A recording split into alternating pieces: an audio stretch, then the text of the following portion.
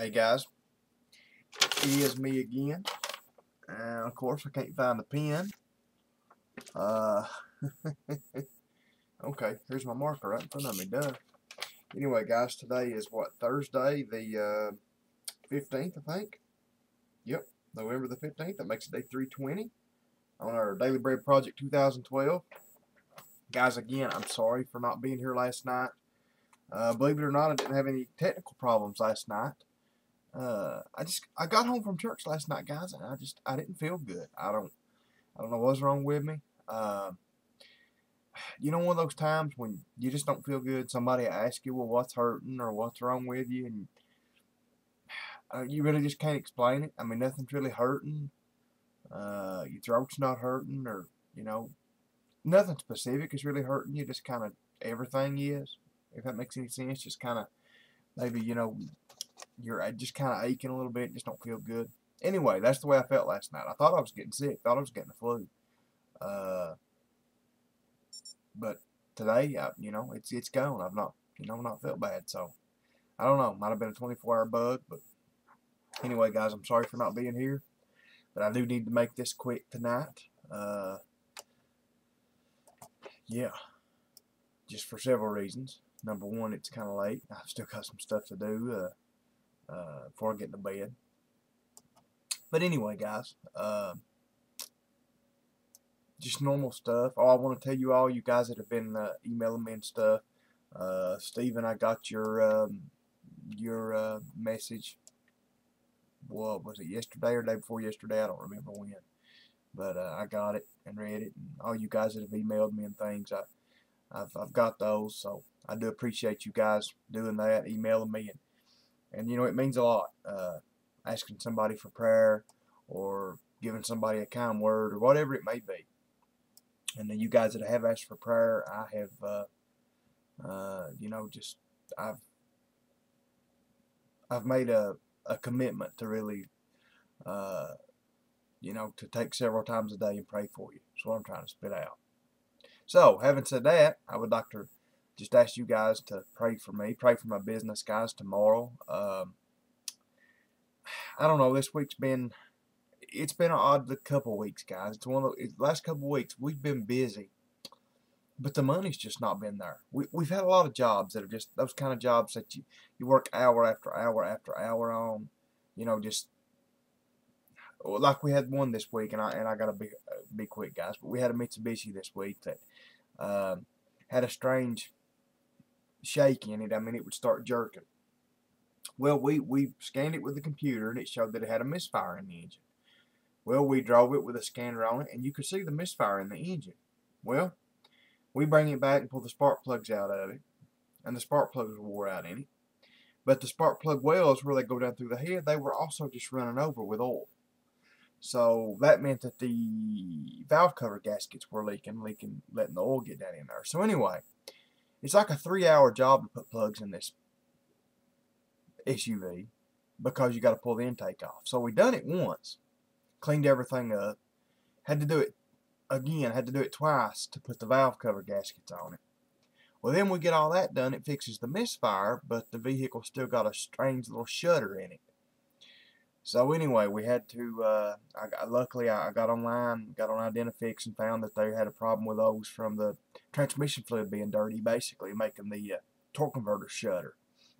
So anyway, we changed the transmission fluid in it and uh, fixed it. But what I'm saying, guys, no joke, we probably worked 12 or 13 hours on this thing. I mean, over the course of two days, you know, just all the different stuff, the different checking, the different things we done. I think we charged them for three you know, it's just, we've had a lot of vehicles like that's what I'm trying to say. Vehicles that you just beat your brains in. We got one right now, a Ford truck, guys. We changed the master cylinder for the clutch on it, and we can't get it to bleed out. We cannot, I mean, I've changed several of these things, and we can't get it to, to get a good pedal. So, what I'm getting at, guys, just pray. Pray, number one, we can get that Ford done. I've got a, jo a couple jobs down there that maybe if I could get them done tomorrow would really help you know, really help the financial situation. So just just pray for all that, guys. Um, one of my tool guys has bought out a garage that went out of business, and he's supposed to be bringing me a almost brand new transmission, a fluid flush machine. Uh, for, I mean, for dirt cheap. I mean, you know, it, it's going to be a really, really good deal. So, uh, just pray for that too, guys. Because I've always, I've always, to be honest, needed one of these machines, but you know, they're just so expensive new. You know, I'm guessing three to five thousand dollars somewhere through there.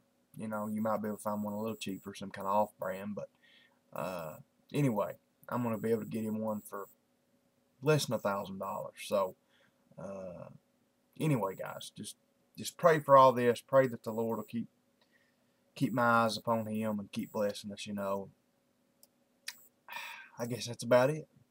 You know, like I said, guys, I always pray. Tomorrow's Friday.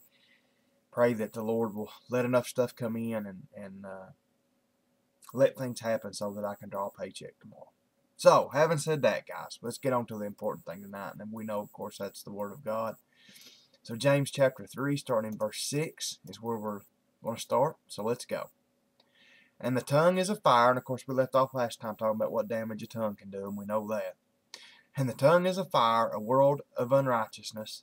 The tongue is set among our members, staining the whole body, setting on fire the entire course of life, and set on fire by hell. This is some strong words about your tongue, guys, and it's the truth.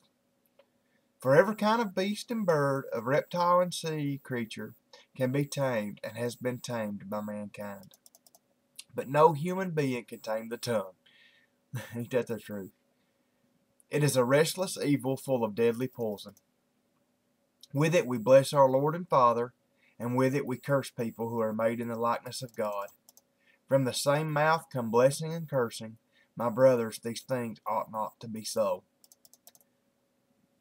Does a spring pour forth from the same opening both fresh and salt water?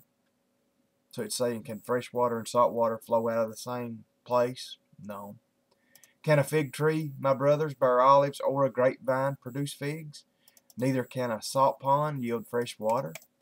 Who is wise and understanding among you? By his good conduct let him show his works in the meekness of wisdom. But if you have bitter jealousy and selfish ambition in your hearts, do not boast and be false to the truth. This is not the wisdom that comes down from above, but is earthly, unspiritual, and demonic.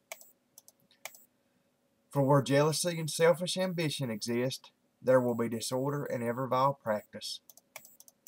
But the wisdom from above is pure, then peaceable, gentle, open to reason, full of mercy and good fruits, impartial and sincere. Verse 18, finishing up, says, And a harvest of righteousness is sown in peace by those who make peace. So anyway, guys, hope you got a lesson from this tonight. I sure did. Uh, good Lord willing, guys, I'll be back here tomorrow night. We'll start in James chapter 4. Uh, like I said, just normal stuff. Pray for me. Pray for business tomorrow. Pray for uh, our homecoming services this weekend, Saturday night and Sunday both. So, uh, I guess that's about it, guys. That's about all I got to say. So, like I said, just keep praying for me and my family. And I'm praying for you guys and uh, pray for Israel. I know there's a lot going on over there right now. So, uh, to always pray for them. You know, that's what Dad, he's been watching it intently tonight. And I'll be honest, I'm not a big person that watches that stuff real close because, I mean, you know, to be honest about it, I mean, I know we should kind of keep up with that stuff, but I'm also of the of the thing, you know, what's going to happen is going to happen, and I can't change it. So there's no use in me just sitting there, big, you know, focusing on it so intently that I just tear myself all to pieces. So you know, all we can do is pray, you know, go to the Lord with it, and we know the Lord's gonna gonna work it out. So anyway, guys, like I said, if y'all need anything, let me know. Uh, good Lord and I'll be here tomorrow night. Until I see you all again. Good night and God bless.